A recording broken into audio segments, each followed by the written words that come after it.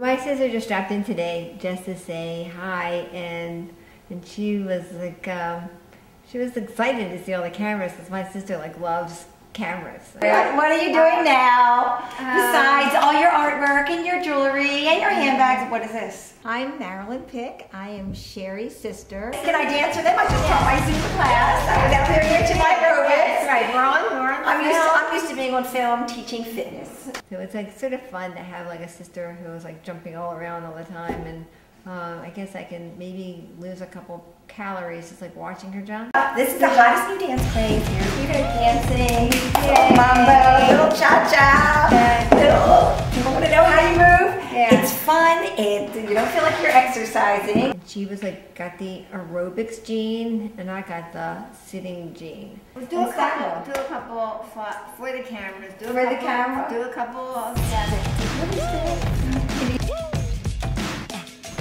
Step, step, one, two, three, step, step. Dancing, moving your body to the music.